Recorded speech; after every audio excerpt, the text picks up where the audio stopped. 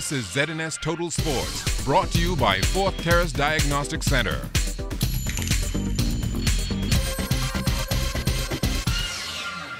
Welcome to sports, everybody. The 31st Father Marcian Peters basketball tournament rolling along at the Kendall Isaacs Gym. Our Julian Gibson was courtside yesterday as the primary girls took center stage. Benson meet Anthony's Moultrie. She's better than all the political parties combined. PLP, FNM, DNA, whatever you want to call them. She scored 22 points, 11 rebounds. In fact, Kingsway Academy scored 22 points in the ball game. And Anthony's Moultrie, she scored all of them herself, but it was in a losing effort to St. Cecilia, 24 to 22. Anthony's, girl, you got game. I just tired and I couldn't do it no more. Even a coach realizes that Anthony's Moultrie, she's the real deal. She's a national team player, but sadly for the rest of the team, we're rebuilding. So everybody else is trying to rally around her to help us move forward. They're playing hard on defense, but, but she's our bread and butter. Now winning the ball game was St. Cecilia, their head coach, but he was satisfied just to get a win. Down the stretch, I, I had some girls on my bench who, um, the third graders and fourth graders, I wanted to get them some play, but it got a little tight down there, so I had to pull them back to seal the win. How far can your girls go? We can go far. We have, I have one of the best uh, girls in primary school, one of the best in primary school, and I got a big girl who could finish, so I pretty good. I could be, I could be in the dance. Temple Christian in the gold t-shirts. Michael Scudery, the official, also has on a gold t-shirt. Scooter, you're going to mix up the girls. Well, Temple Christian, they were mixed up all right.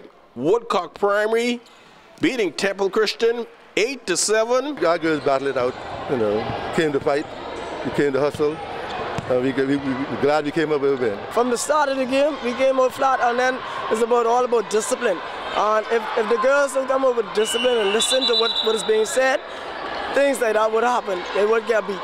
Can you get your girls together and uh, get back into the tournament and start winning?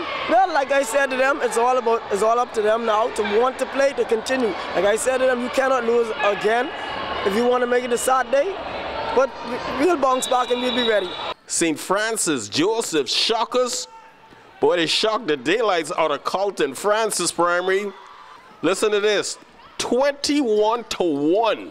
Augur really dominated that game. Um, Carlton Francis was a, a, weak team. I just want to see how, how my girls would perform against a, a better team. I'm in a rebuilding stage, you know, for the last past three years. My girls have won the government school. This year I bring no grade six, I have a couple grade five, couple grade three. Reporting for ZNS Total Sports, I am Julian Gibson. Now, the staging of the Father Marcian tournament is handled by the sports unit at the Ministry of Youth, Sports and Culture. The unit wants to venture into even more initiatives, but that can only be done if there are more sports officers in place.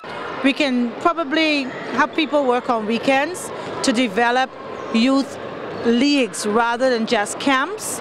I think leagues work better than camps. There's a place for camps, but as so um, it's it's more important for a kid to exercise what they have learned in the camp in a league. And so I, I will try my endeavor best this coming year to see that uh, youth leagues that were around in the early 70s and late uh, early 80s be developed in this country so that any kid who wants to practice what they have learned in a camp would be able to join a team within their community and be able to develop their skills in game settings. The CC Sweeting Cobras have been one of the more dominant senior boys basketball teams in the past few years. Early on this season, though, the Cobras have faced some adversity, and head coach Mario Bowleg was asked how this year's team compares to those he's had before. It isn't as strong as far as it relates to the senior players uh, uh, who have the experience. Uh, you know, when I look at the starting lineup this year, we got three guys in grade 10 just came to CC is starting in the starting lineup. So, and then with two 11 graders. So it, it, shows that we, we have some growing pains to go through, but at the end of the day, I only need five players to go to basketball court to believe in my system, and uh, and they need to just play with heart and desire. And I think the boys understand as long as they play with heart and desire, and they got that willingness to win, uh, and they're disciplined to the system, trust me, we'll be there. The countdown is on for the Caribbean Showcase Pro Boxing card Action starts 8 p.m. on Friday at the Kendall Isaacs Gym. Meacher Major Payne will be in the main event. Meacher's in tip-top condition. He's in best form I've ever seen him. Um, at this time right now, Meacher, Meacher's hungry. He's, um, you know, he wants he wants that British Commonwealth title. So right now he's really really focused, and I think um, he's gonna have he's gonna have a challenge like you know this guy this guy is um, no soft touch. You know, Meacher, he's gonna have to really really um, put up a real real real violent effort, and um, I think with his conditioning and his experience, Meacher should come out on top. And that will do it for sports. Stay tuned to check on weather still to come.